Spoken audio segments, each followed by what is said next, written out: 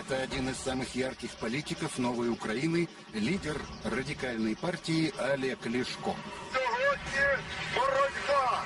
На Майдане Лешко лично раздавал радикалам биты и вилы. Передавати треба до Володя. Позировал перед телекамерой, на чем свет стоит, поносил терпеливых сотрудников Беркута. Я народний депутат України. Народный депутат, герой революции, объявляет всеобщую мобилизацию. Хто сказав, що ми не справимося? Ми не справимося з Росією, що ви казали? Як ми не справимося? Впрочем, украинские военные к призывам Лешко относятся сдержанно. Просят сначала привезти матрасы, а то солдатам спать не на чем. 450 матрасів не достається в нашому гарнізоні. Де вони ділись? Репутация у Лешко хуже некуда. В 93 году был задержан за разворовывание государственного имущества. В 94-м получил 6 лет за мошенничество в особо крупных размерах. Это оперативные съемки 20-летней давности. Ну, гомосексуалізм, якщо так сказати. На допросе начинающий политик рассказывает о своих достижениях. Это была необычная связь, где есть активный и пассивный. Если брать по тем параметрам, то, конечно, я выступал как пассивный. По тим параметрам, то, конечно, я выступал словам Лешко, влиятельный партнер по имени Борис опекал его, поддерживал материально и помогал сориентироваться в украинской политике. За это Лешко оказывал своему другу вполне конкретные услуги.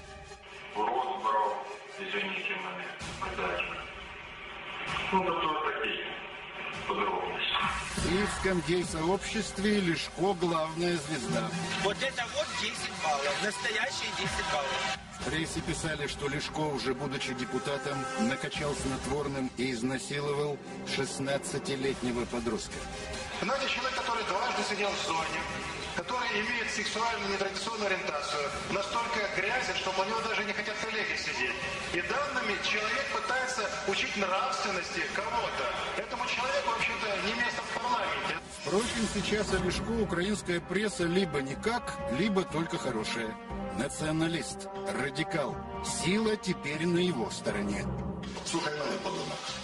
Якщо ти зараз скотина не заткнешся, ти знаєш, скільки будеш сидіти? Мінімум 15 років. Ти мене почув чи ні? Ти не поняв, куди ти попав. Вот Олег Лешко лично руководит операцией по задержанию луганского депутата Арсена Клинчаева, который заявил, что русский язык на Украине должен быть вторым государственным, а Крым имеет право на самоопределение. Сім подонок. Я не подобав. Ти подонок.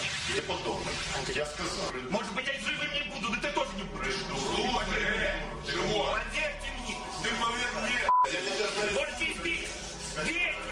Закованного в наручники Арсена Клинчаева вывели на улицу, бросили на асфальт и стали избивать. Лешко бьется в экстазе. Оце буде отак кожному подонку, хто за розкол України. Оце кожен подонок, який буде розколювати Україну, закінчить отак. Отак. Этот человек э, сейчас всячески провоцирует народ Украины. Он э, оскорбляет, э, избивает людей, там, нападает на них. Он из тех, кто вымогал, требовал 100 тысяч гривен за голову Беркутенка, да, которые, то есть, ну, фактически он призывал к насилию и к убийствам. Президент Ющенко когда-то показывал три его судимости за мошенничество. И вот, вот этот человек теперь является э, там, таким Робин Гудом Майдана.